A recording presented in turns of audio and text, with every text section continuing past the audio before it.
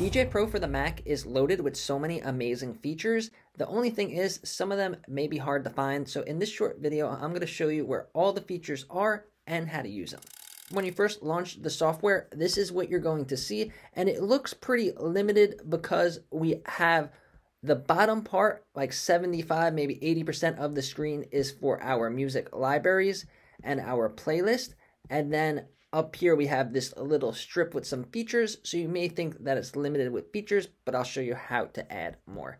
So with just this open, we obviously get crossfader, volume faders here, gain controls here, our mixers over here, filters with the mixers, a little neural mix slider here, all vocals or all instrumentals, BPM, play, set, and cue jump. But there are so many more features and how they were able to add, how they were able to fit all these features is with these expansions up here at the top. So let me go through all of them and show you what they do.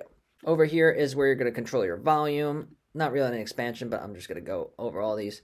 This is where you will do recording. You could start a recording there. Over here is our first expansion pack. So this is going to be for our cue points and for our loops. So when you first press it, boom, you'll probably be in the cue point point section. So we can make our cue points over here and then we could delete them by pressing this pencil and deleting them. But with this expansion, it does more than one thing and you're gonna find the other things that it does over here in the middle. So there is a hidden drop down menu over here. And then you have the pitch cue feature, slice and skip. These are for DJ tricks and uh, and so pitch cue is gonna pitch pitch the um is gonna pitch it up or pitch it down. So you could do like melodies and like that. Slice and skip or for scratching and DJ tricks. I'll talk about that in another video. And then in the middle here is how we access our loops. You can access your auto loops. So this is gonna be two, four, eight, it'll stay on that amount of loops. Or you could do manual and you could set in and out and bounce and save loops. And then the next one here, we can adjust our beat grid. So all those features become available when we open this expansion pack. The next one is going to be our effects. So press it once, we have our instant effects, and then again in the middle here is where we're going to change from instant to manual effects, and then we get these sliders on off buttons. So there are your effects, manual, and then instant. You could switch over to instant, and then we have instant effects. I made a lot of videos on the effects. You guys could check that out. This one over here opens Neural Mix, the amazing stem separating software inside of this app. You can make instrumentals, you can make acapellas, and you could even control everything in between because you could set it for three bands. Press the drop down menu. You can even set it for four bands or simple simplify it by just instrumentals and acapellas however you want to use it. And then also there is the neural mix that's always up here. Next one is going to be our sampler and looper. In the software for the iPad, this is a whole another view mode, but there are less view modes in the Mac section. I'll show you how to change those in a little bit. But it's here's our expansion.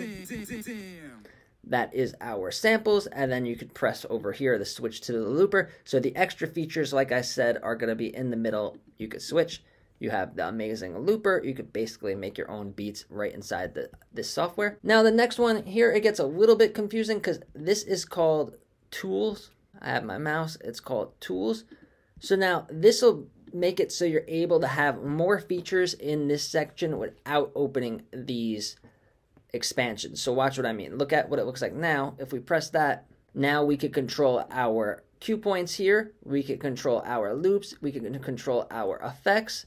And we ha still have our mixer, still have everything else. And the reason why they do that is because if you want to use your effects and your cue points at the same time, now you could have your effects open over here.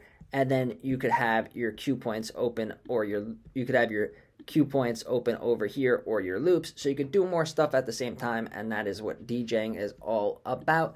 Next is going to be this one. This will open our waveforms. It may look kind of weird without waveforms, but you could open them like that and we have these forms or we have these vertical waveforms here that are really great. You can really tell what's going on. So that's how you open your waveforms. And again, you can have everything else open with it as well. Now we could go over here. This is how we're going to switch to our different view modes. So up here to the right, we get a drop down menu. So now we're in two deck mode. We could switch right to one deck mode. This mode is great for organizing your tracks, setting your cue points, and your start and stop for your auto mixes.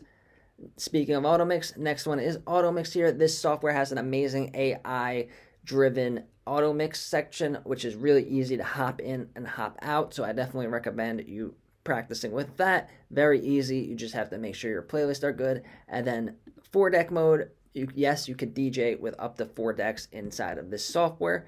And then the next one is video mode. Djay Pro makes it so easy to connect a TV or a projector to use video mode to, to DJ with music videos and visualizers inside of the amazing software. And if you want to learn more about Djay Pro's video mode for the Mac, check out this video over here.